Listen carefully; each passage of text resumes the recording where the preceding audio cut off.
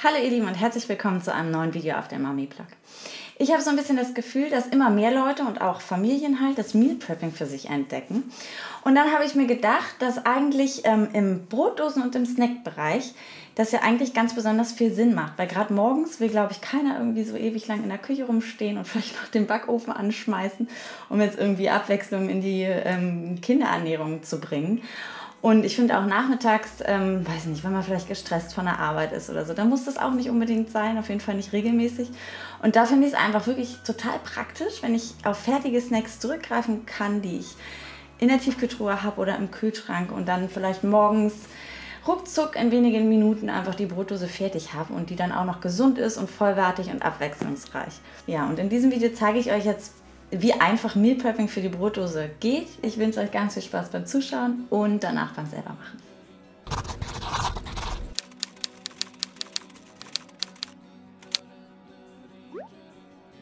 So, also ein organisiertes Meal Prepping, das startet ja bekanntlich mit einfachen und gut umsetzbaren Rezepten.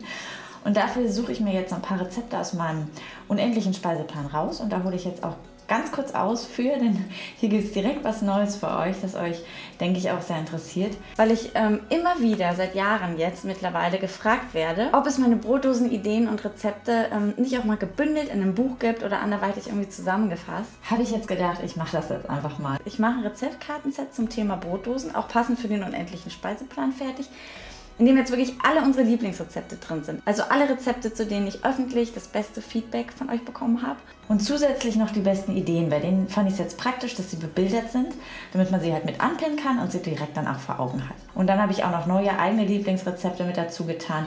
Und jetzt alles auf Meal Prep Tauglichkeit auch nochmal durchgetestet und auf den Karten vermerkt. Und ich finde, jetzt ist das eine echt schöne runde Sache geworden und ein hilfreiches Brotdosen-Kartenset entstanden, mit dem man so organisiert, schnell und einfach wie irgendwie möglich besondere Brotdosen für sein Kind vorbereiten kann oder auch mit seinem Kind. Natürlich kann das Kind auch helfen, beziehungsweise auch für die ganze Familie.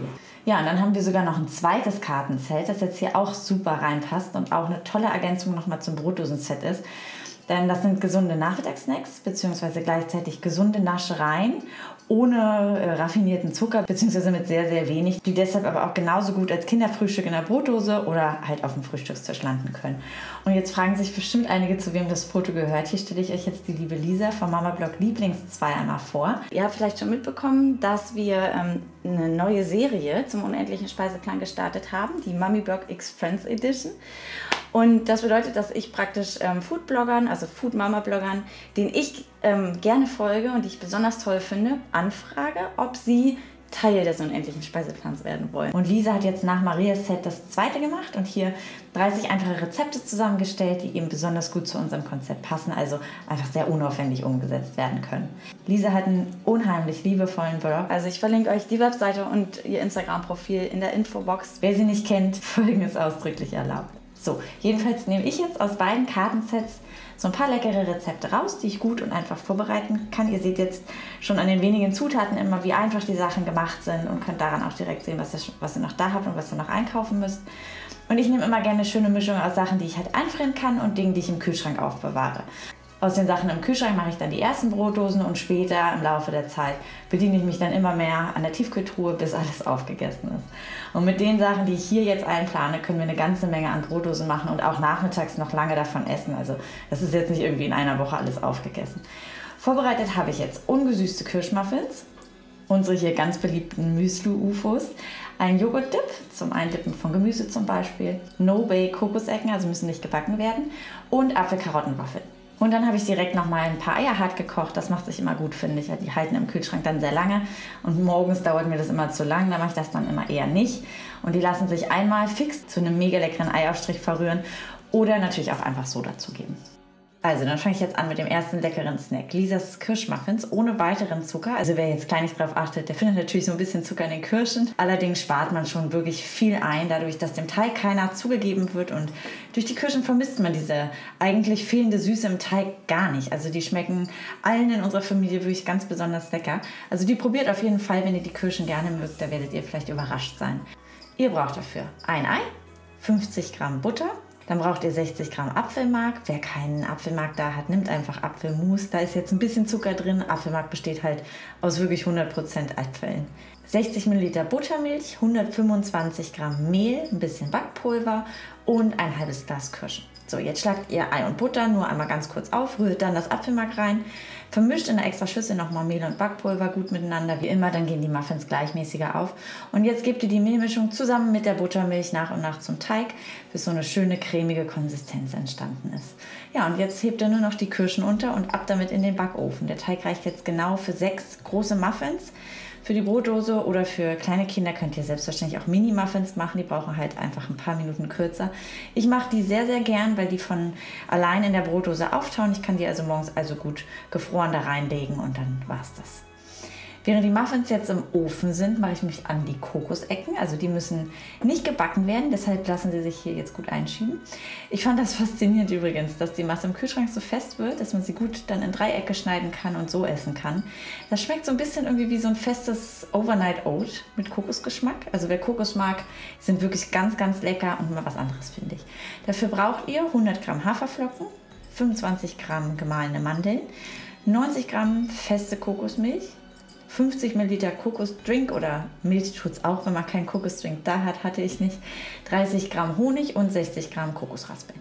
Die Haferflocken gebt ihr jetzt einmal in den Mixer und zerschreddert so lange, bis sie ganz fein sind. Und dieses Haferflockenmehl vermengt ihr jetzt mit den Mandeln.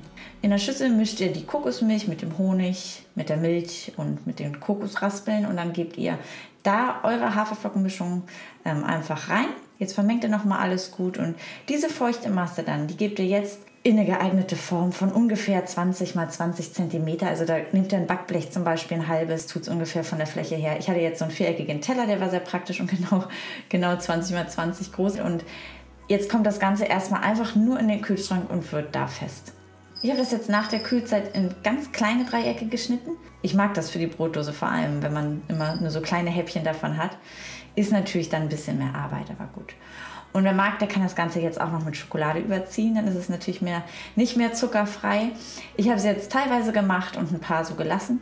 Und die ohne packe ich jetzt ja nicht mit in die Brotdose. Die mit Schokolade sind jetzt eher für den Nachmittag gedacht. Aber ich gebe die sonst auch als kleinen Snack mit in die Brotdose. Gut, und dann habe ich noch unsere Müsli-Ufos fertig gemacht. Die kennt ihr schon, aber weil sie hier so beliebt sind in unserer Familie und sie sich einfach so perfekt einfrieren und rauszaubern lassen, mache ich sie auch direkt nochmal mit für dieses Video hier. Also hier schmeckt dann tatsächlich null Unterschied, ob die frisch frisch gemacht sind oder aus der Tiefkühltruhe kommen.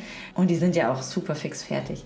Sind übrigens sehr süß, allerdings wirklich durchaus gesund, denn die bestehen eigentlich nur aus einer Frucht-Nuss-Mischung, Haferflocken, bisschen Fruchtsaft. Ja, und dann halt den Backoblaten. Und jetzt mixt ihr eben ähm, alle Zutaten, außer die Backoblaten natürlich zusammen. Und dann gebt ihr diese Masse löffelweise auf die Backoblaten. Ihr könnt ja auch größere nehmen. Ich habe im Rezept angegeben, ähm, nehmt die größeren, dann ist das weniger Arbeit.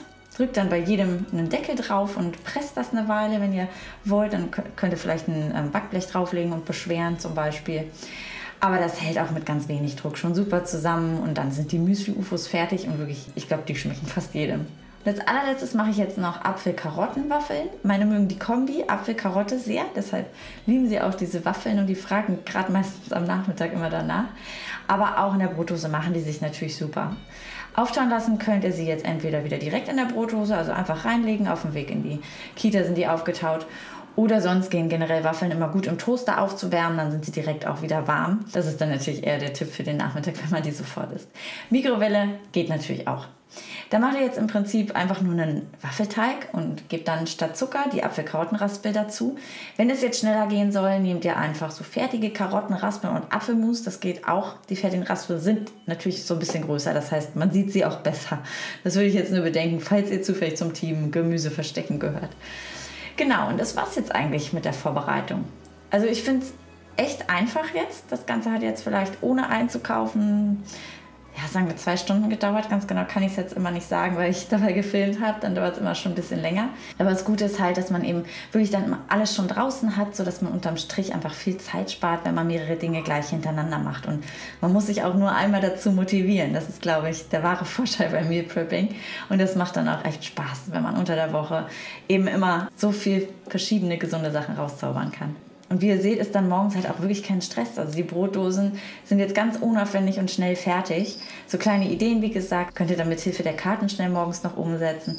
Das betrifft jetzt einmal die Ideen, die hier bebildert sind, aber auch wirklich kurze Sachen mache ich schnell frisch. Zum Beispiel so ein Joghurt-Dip den kann man zwar vorbereiten und den kann man auch im Kühlschrank eine Weile aufbewahren. Der dauert aber morgens auch nur vielleicht drei Minuten. Da gibt ihr also wirklich nur drei Esslöffel Naturjoghurt, zwei Esslöffel saure Sahne, so ein bisschen Zucker und ein bisschen Zitronensaft dazu.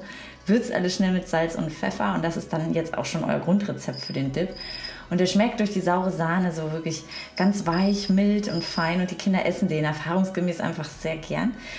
Und jetzt könnt ihr den halt auch noch ganz nach Geschmack, das finde ich das Praktische an diesem Dip, abändern. Also zum Beispiel packt ihr ein bisschen Honig, ein bisschen Senf rein. Den Geschmack mögen wir zum Beispiel total gerne. Dann habt ihr einfach einen Honig-Senf-Dip oder ja, eben nach Geschmack was anderes zum Verfeinern. Ja, den Eiaufstrich zum Beispiel auch, auch überhaupt gar kein Stress morgens. Wenn ihr schon hart gekochte Eier im Kühlschrank habt, sowieso nicht. Dann mixt ihr auch einfach schnell zwei Esslöffel Frischkäse mit einem Esslöffel Naturjoghurt und einem Viertel Teelöffel Senf zusammen. Würfelt schnell das Ei und hebt das da drunter abschmecken mit Salz und Pfeffer und wer mag noch mit ein bisschen Schnittlauch. Ich tue das jetzt auf ein recht ungesundes Toasty, also nicht wundern. Ab und zu packe ich auch ungesunde Sachen mit in die Brotdose. Das finde ich auch nicht weiter schlimm, denn ich finde, wenn die Brotdose insgesamt ausgewogen ist, dann ist das alles, was zählt. Also hier seht ihr jetzt nochmal das ganze Prinzip. Meine Mittagessen sind jetzt für alle sieben Tage der Woche von Montag bis Sonntag angepinnt und die Meal Prep Rezepte, die pinne ich mir extra nochmal an. Da sind jetzt die Rezepte dabei, die ich vorbereite, aber auch die, die ich eventuell dann noch frisch dazu mache. Ach so, und Obst und Gemüse zum Beispiel, das schäle ich wirklich immer ganz frisch. Also es gibt Leute, die machen beim Meal Prepping ja auch schon ähm, das in größeren Mengen fertig und bewahren das dann unter Wasser auf zum Beispiel. Das soll aber nicht wirklich empfehlenswert sein, weil dabei schon viele Vitamine sich im Wasser lösen und kaputt gehen und ja, mein Gott, das ist so schnell gemacht. Also frisches Obst und Gemüse ist, ist mir immer am wichtigsten, dass das dann da in der Brotdose landet. Und das Blumenkohlschaf hier übrigens, das wollte ich auch noch mal erwähnen. Das ist tatsächlich roh. Blumenkohl kann man super roh essen, wer das nicht wusste. Schmeckt so ein bisschen ähnlich wie Kohlrabi. Ja, und durchs Kochen gehen ja auch schon immer viele Vitamine kaputt. Deshalb ist der rohe Blumenkohl tatsächlich die gesündere Variante. Also das könnt ihr auch mal probieren, ob ihr das mögt, beziehungsweise eure Kinder. Und das war's auch schon wieder bei Mami Blog. Ich sage Tschüss, ihr Lieben, und bis zum nächsten Video.